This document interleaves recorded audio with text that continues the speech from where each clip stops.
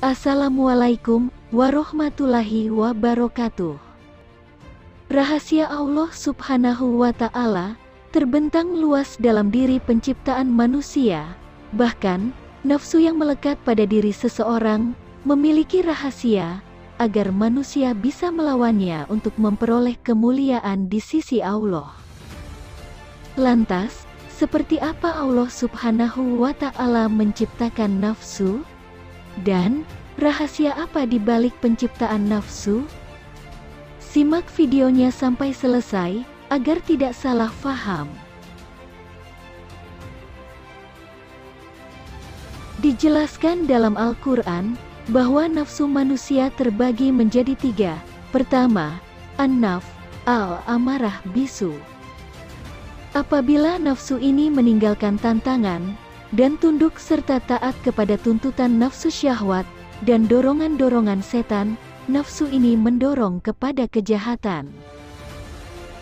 Kedua, an-naf al-lawamah. Apabila ketenangan tidak sempurna, akan tetapi menjadi pendorong kepada nafsu syahwat dan menentangnya, nafsu ini juga mencaci pemiliknya ketika ia abai dalam beribadah kepada Allah Nafsu ini pula sumber penyesatan karena ia patuh terhadap akal, kadang tidak. Sedangkan ketiga, an-naf al-mutmainah. Apabila dia tenang, di bawah perintah, dan jauh dari goncangan, disebabkan menentang nafsu syahwat. Abu Laits As-Samarkandi menceritakan kisah penciptaan akal dan nafsu. Saat penciptaan keduanya, Ternyata nafsu memiliki karakter yang degil, keras dan membangkang kepada Allah Ta'ala. Dalam paparannya, Abu Laits As-Samarkandi menukil sebuah kitab karangan, Usman bin Hasan bin Ahmad Asy Akhir Al-Haubawi, seorang ulama yang hidup pada abad ke-13 Hijriah. Beliau menerangkan ketika Allah Ta'ala menciptakan akal, maka Allah berfirman yang artinya, Wahai akal, tidak kuciptakan makhluk yang lebih mulia daripada engkau. Setelah itu, Allah Ta'ala menciptakan nafsu dan berfirman kepadanya. Wahai nafsu, menghadaplah kamu, nafsu tidak menjawab dan sebaliknya mendiamkan diri. Kemudian Allah Ta'ala berfirman lagi, Siapakah engkau, dan siapakah aku, Lalu nafsu berkata, Aku adalah aku, dan engkau adalah engkau.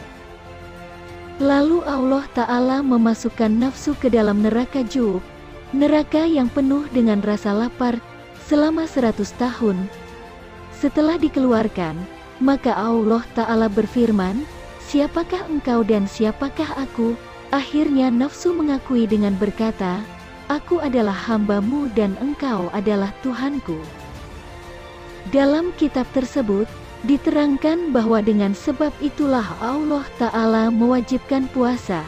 Kisah ini memberi kita hikmah betapa membangkangnya nafsu. Apabila seseorang tidak bisa mengendalikan nafsunya, maka ia akan mendapat kerugian yang amat besar. Wahai Daud, sesungguhnya kami menjadikan kamu khalifah, penguasa di muka bumi. Maka berilah keputusan, perkara di antara manusia dengan adil, dan janganlah kamu mengikuti hawa nafsu, karena ia akan menyesatkan kamu dari jalan Allah. Quran Surah 1:26 Untuk diketahui, nafsu merupakan bagian dari makhluk Allah. Nafsu bisa diartikan sebagai ruh, nyawa, tubuh dari seseorang, darah, niat, orang dan kehendak atau keinginan, kecenderungan, dorongan hati yang kuat. Secara istilah, nafsu adalah sesuatu yang lembut pada diri seseorang yang menimbulkan keinginan atau dorongan hati untuk memuaskan kebutuhan hidupnya. Meskipun bukan hal yang mutlak, nafsu memiliki kecenderungan untuk menyimpang, sedangkan hawa nafsu adalah kecondongan jiwa terhadap sesuatu yang disukainya, sehingga keluar dari batas syariat. Imam Al-Ghazali dalam kitab Ihya, Ulumuddin berkata, Kebahagiaan adalah ketika seseorang mampu menguasai nafsunya, sedangkan kesengsaraan adalah saat seseorang dikuasai nafsunya.